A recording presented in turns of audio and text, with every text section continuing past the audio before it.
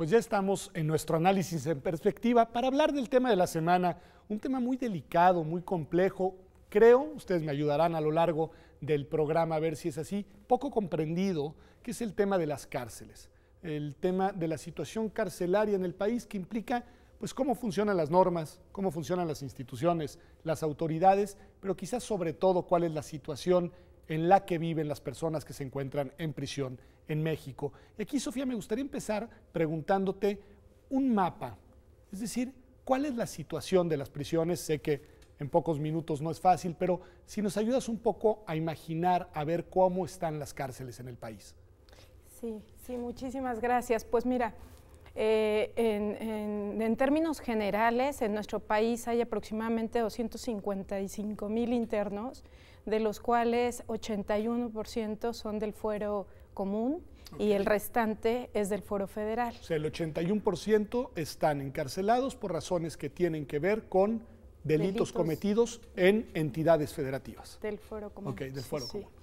Y bueno, para mí también un dato muy importante es el número o el porcentaje entre procesados y sentenciados. Y a ver ese dato. Eh, aproximadamente un poco más de la mitad, del 57% de la población carcelaria, en términos generales en el país, se encuentra siendo procesada. Es decir, más de la mitad de estas 250 y tantas mil personas no tienen todavía una sentencia condenatoria, están en prisión sin sentencia. Sí, sí, eh, sujetos a prisión preventiva, que sabemos perfectamente que por, por, por, justamente disposiciones de carácter internacional, incluso recomendaciones que ha habido al respecto de organismos internacionales, la prisión, la prisión preventiva y de hecho por disposición constitucional debe de ser una medida cautelar de carácter excepcional.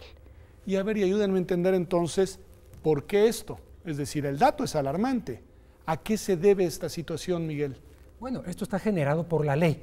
y son dos situaciones distintas. Una es cómo el proceso penal genera un número de personas que están en prisión preventiva y otra es, bueno, ya cómo están esas personas en prisión preventiva, es decir, cuáles son sus condiciones en prisión preventiva.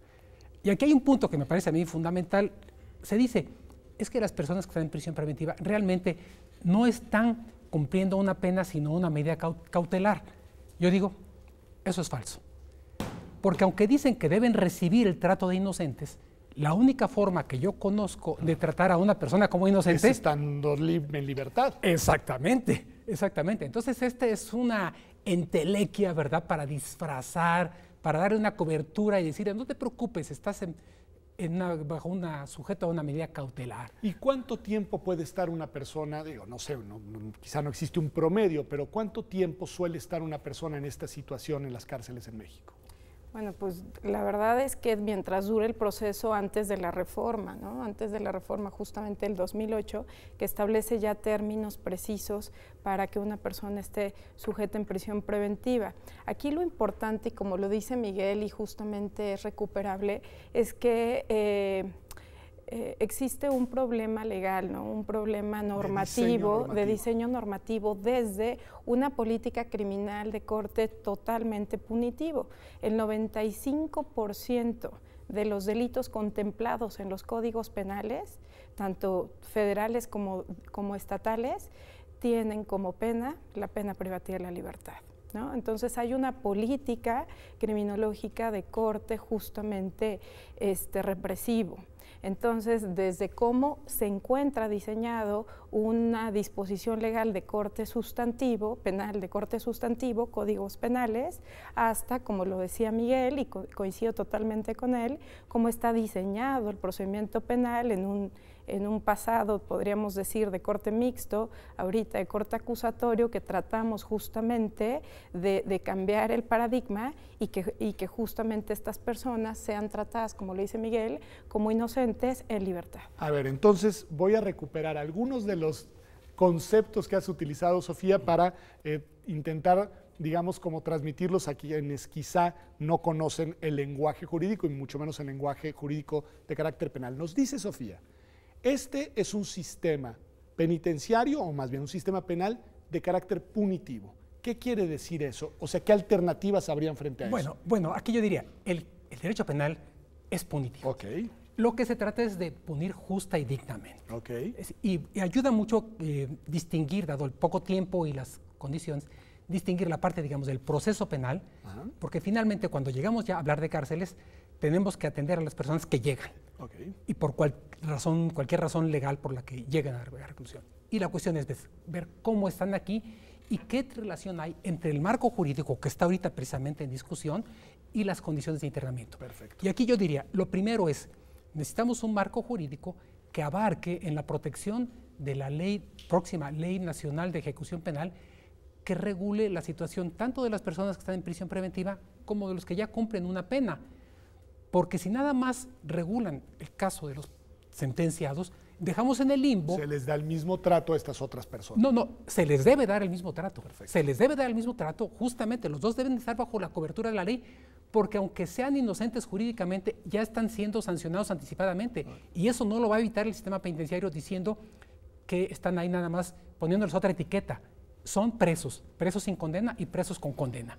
Y entonces la ley debe proteger a ambos, porque si no, lo que sucede es que por no, por no aceptar que están cumpliendo ya una pena anticipada, les quitamos además la protección de la ley de ejecución penal, los dejamos en el limbo. Es una situación muy no, No, pero es una no, crítica, pero muy importante y digamos, y que por lo que nos ha dicho Sofía, afecta a un porcentaje muy importante de las personas que se encuentran hoy en prisión, que además en números concretos son muchos miles de seres humanos. Es decir, es una situación, digamos, con esa dimensión concreta muy, muy fuerte. Exacto, exacto. Ahora, a mí me gustaría abundar un poquito más sobre esa descripción general del sistema penitenciario.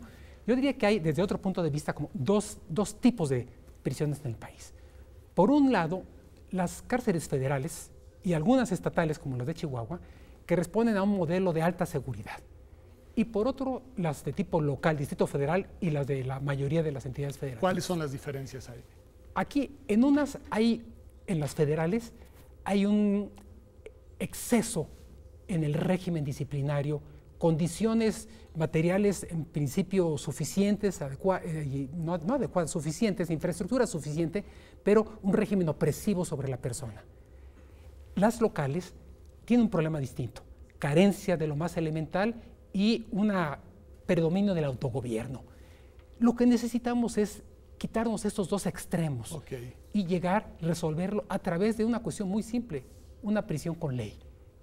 Donde que ahora te preguntaré en qué consistiría esto, pero me quedó ahí un temilla en el aire que me parece sobre todo de nuevo, que es de estos que hay que explicar muy bien. Nos decía Sofía, el 95% de los delitos es sancionado con una pena carcelaria. Ese es el dato que nos diste.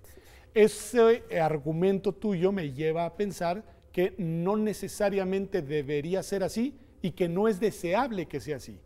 ¿Cómo debería de ser desde ese punto de vista el diseño de nuestra ley penal? Sí, bueno, pues considerar primeramente a las penas privativas de la libertad o restrictivas de la libertad como la última ratio, ¿no? Tratar y considerar justamente de crear en nuestro país una política hacia una política de sanciones alternativas a la pena privativa de la libertad, porque pues es importante saber lo que las series históricas que, el mismo INEGI ha manejado con respecto a justamente el número de internos que en un momento determinado eh, eh, eh, se encuentran en la cárcel, este, esta proporción es elevadísima, ¿no? Cada vez hay más internos, por lo tanto, lo que tenemos que hacer justamente es trabajar desde, desde los principios constitucionales y por tanto desde los principios legales sustantivos hacia una política de sanciones alternativas, tratar de sentenciar a penas alternativas a la prisión, ¿no? no solamente penas privativas o restrictivas a la prisión, porque incluso si se hiciera de esa forma se cumpliría con uno de los fines más importantes del sistema establecido por el 18 constitucional, que es la reinserción social del sentenciado. y, y, entonces me detengo un punto y te pregunto, Miguel, vamos a regresar al tema de la cárcel con ley, no me queda clarísimo, y además hay preguntas que les quiero hacer adicionales sobre perfiles de las personas en prisión, etcétera, pero antes, nos dice Sofía muy importante, antes de la prisión incluso en el caso en el que sí se hayan cometido delitos, debería de haber un sistema de penas alternativas. Te pregunto, ¿cómo cuáles? Y si tenemos algunos ejemplos eh, de otros países, es decir, cuáles serían esas penas para que nuestro auditorio entienda cómo hay otras formas de castigar a quien comete un acto delictivo. Claro, yo me quedaría con la, con la prototípica que sería el trabajo en favor de la comunidad. Trabajo a favor de la comunidad. Y implica, claro, toda una infraestructura, todo un desarrollo para poder hacer efectivas esas penas. Y eh, su existencia es mínima, está prevista en la ley, pero es muy poco lo que se aplica y menos todavía el seguimiento que se le da a estas sanciones alternativas. ¿Y esto podría ser para qué tipo de delitos? Porque nos decía también Sofía, la pena privativa de la libertad, nos decía, debe ser la última ratio, que quiere decir, digamos, la última medida para casos extremos, intentando desahogar todos los demás delitos a través de estas medidas eh, distintas, digamos. Pero bueno, ¿para qué tipo de delitos imaginaría Sofía que debería de valer no la prisión, sino una pena alternativa?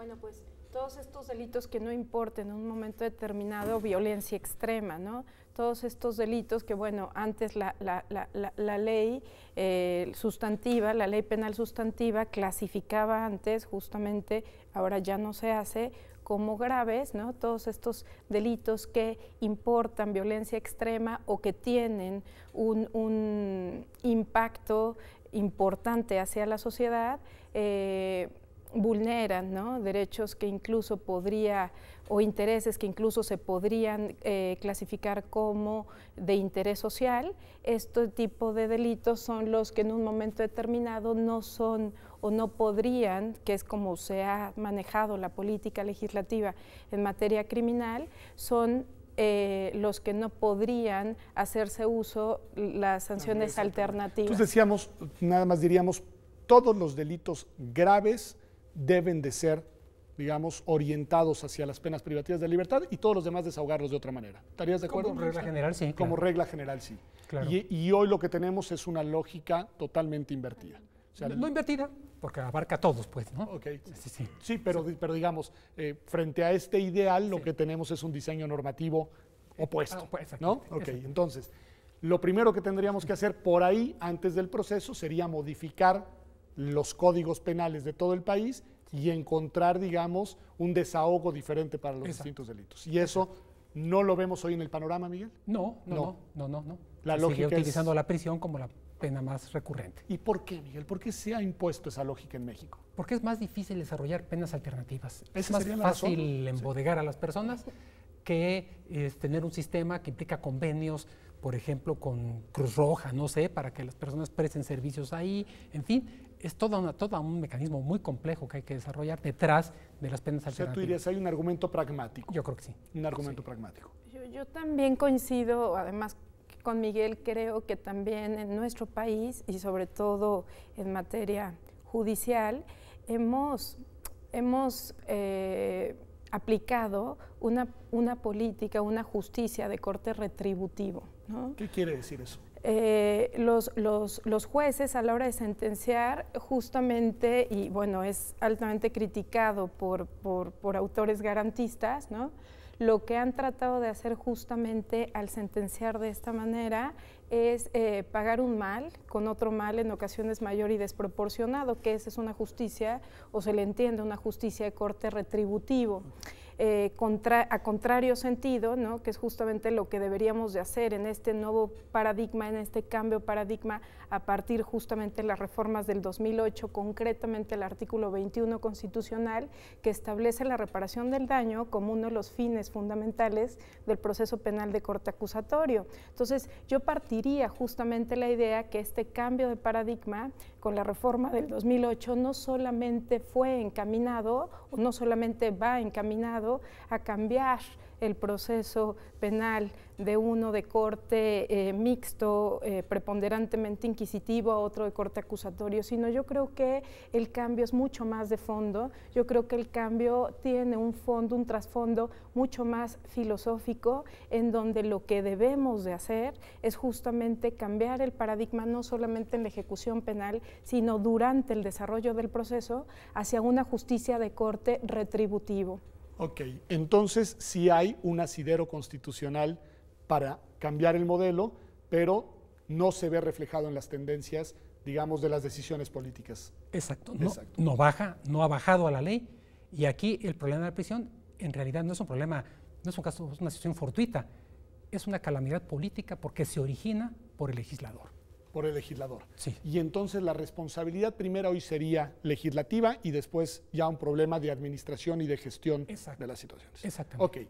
Una última pregunta para cerrar este bloque. Regresamos después de un corte y nos vamos a ver la prisión y la prisión con ley que nos, diría, que nos decía Miguel, que me parece muy importante. La pregunta tiene que ver con esto a lo que han hecho alusión muchas veces, que es el nivel federal y el nivel de lo local.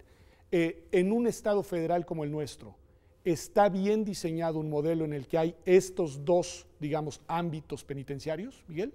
Sí está bien diseñado, lo que falta es que la federación cumpla con sus responsabilidades de tener centros federales en todas las entidades federativas. En todas las entidades federativas. Debiera tener, claro, porque se cometen delitos federales en cualquier entidad.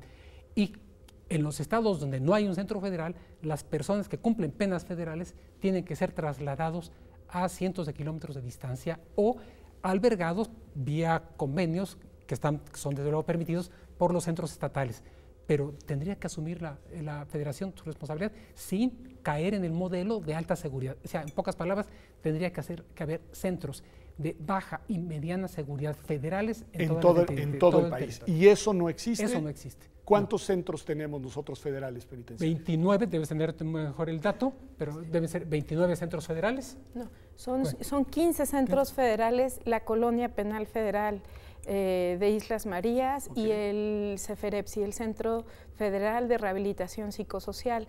Dentro de la colonia penal federal de Islas Marías hay cinco campamentos, entonces, a veces justamente es que el dato se eleva justamente al contar estos cinco campamentos dentro de la colonia.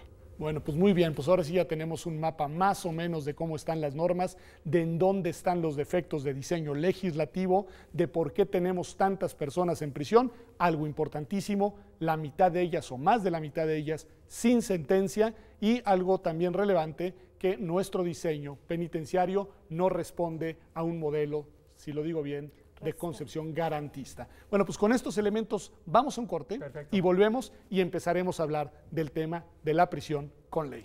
Quédese con nosotros, estamos en Observatorio hablando de las cárceles, de las cárceles en México. Regresamos.